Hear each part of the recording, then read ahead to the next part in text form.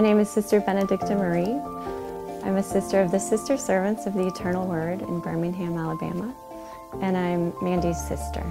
Mandy passed away recently, this year, February 7th, 2023, and her death was as her life. It was extremely beautiful, peaceful, um, joyful, full of the life and light of God. In past interviews, Mandy had said, To make things beautiful, or to make a beautiful thing, is to make Him known. You know, she would say that, that beauty, it's not an accessory, it's a necessity. You know, we are an incarnational people. We are we live the faith through sacramental mediation. So everything is important and everything speaks and everything disposes us to enter into the divine liturgy. I know that initially she did talk with the uh, school's president, Dr. O'Donnell. He had inspiration on the redemption of nature through the Eucharist.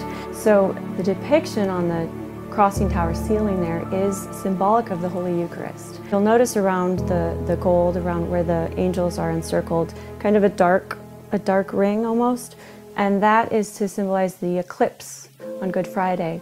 And so that's the moment in which our Lord Christ the King established his reign.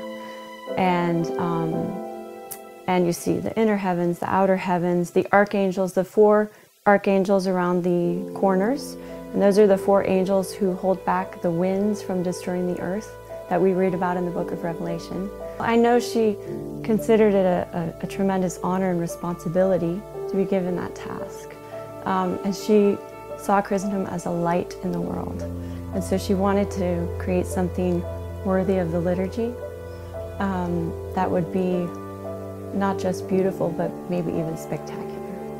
I think she and I have the same hope for the work that she did, that as people enter into that church and as they pray the Holy Mass and are present at the Eucharistic sacrifice, that they are truly elevated above and beyond themselves not becoming less themselves, but actually becoming more themselves because they are worshiping the triune God. They're present at the eternal sacrifice.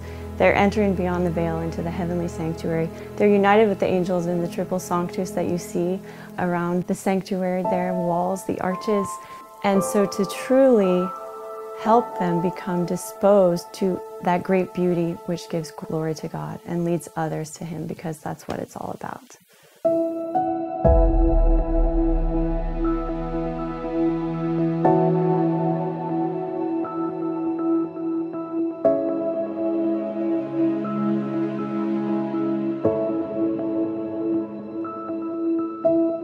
you